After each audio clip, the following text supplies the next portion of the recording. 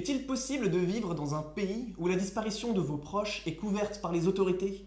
Les familles des 43 étudiants d'Ayotzinapa massacrés le 26 septembre dernier nous montrent que oui. Ils font actuellement le tour de l'Europe pour nous alerter sur cette politique de la peur. Serait-elle possible si nos dirigeants s'appliquaient plus à la dénoncer qu'à la fournir en armes?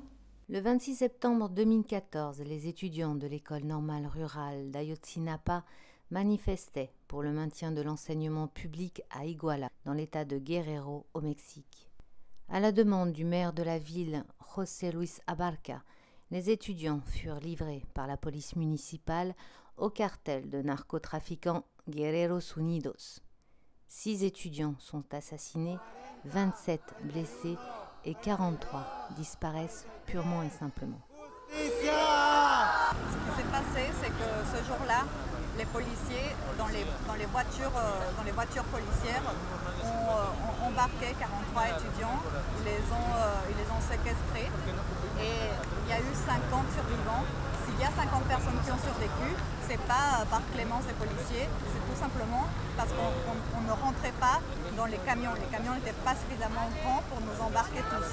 Donc il faut voir cette, cette journée du 26 septembre, ce crime à il faut le voir dans un contexte plus, global, car au Mexique, c'est pas la, première, la première fois qu'on qu viole les, droits, fondamentaux, les droits, humains. C'est un climat de violence généralisée et de, de violation systématique des droits de l'homme. Mon rêve, mon aspiration, c'est qu'on retrouve mes 43 camarades, c'est que justice soit faite. Euh, nous, personnellement, euh, nous a, moi et, les pères de famille, les élèves, on nous a détruit la vie, on nous a détruit tous les rêves. Les, parents de famille ont dû arrêter de travailler. Nous, on a dû arrêter les cours. Donc, euh, c'est son, son rêve, c'est pas vraiment un rêve, mais c'est une exigence que justice soit faite.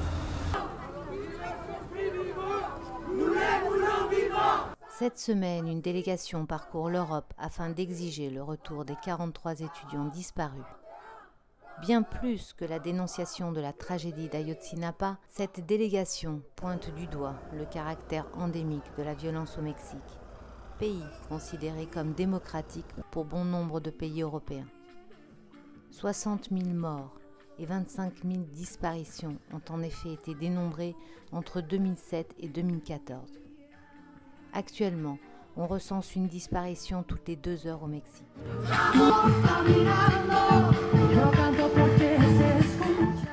Le président mexicain Enrique Peña Nieto sera l'invité d'honneur des célébrations du 14 juillet 2015 en France, présidées par François Hollande. Gageons que le président se gardera bien d'évoquer la question des droits de l'homme. Le collectif d'Ayotzinapa Paris a adressé une lettre au président de la République pour le moment resté sans réponse. Et pour rappel, en avril dernier, François Hollande avait décoré le président mexicain de la Haute Croix de la Légion d'honneur après lui avoir vendu des hélicoptères de combat.